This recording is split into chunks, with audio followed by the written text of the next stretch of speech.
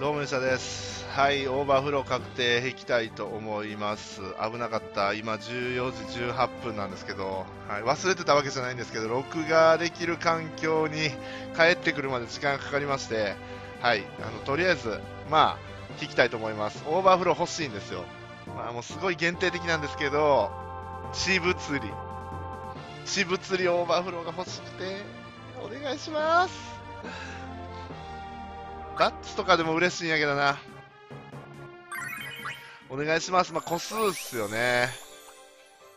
1個、もう2個、2個くれれば御の字。2個くれれば御の字。うわーよしすげえマジか !5 個もあるオーバーフローばっかり5個ってことやんな。熱っ来たちょちょちょちょちょ、知らんやつ知らんやつ。知らんやつおいで。でし出たこれ本。弟子ですよね。刀いやもうわかんない。えー、何これ。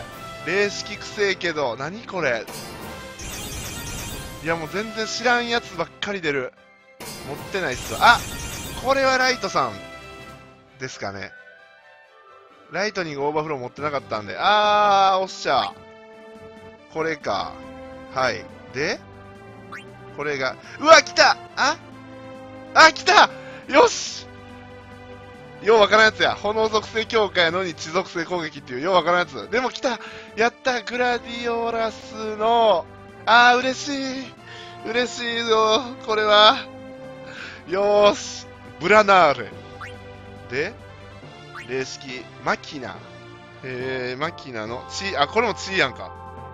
魔法剣アビリティを使用した回数に応じて威力が上がる。地属性。地属性欲しいって言ったらめっちゃ来るやん。あやめちゃんのオーバーフロー。あ、これは持ってます。あ、これは持ってます。出たな、これ、おい。何これ。え？超低者？ああこれ、これか。最初のオーバーフローですよね、弟子の。あのー、伝説のオーバーフローしないオーバーフローですよね。まあいいや。えと、これは攻撃力アップなんや。まあ、よくわかんないですけど、でも5つも出たし、えっと、かぶりは1個。はい。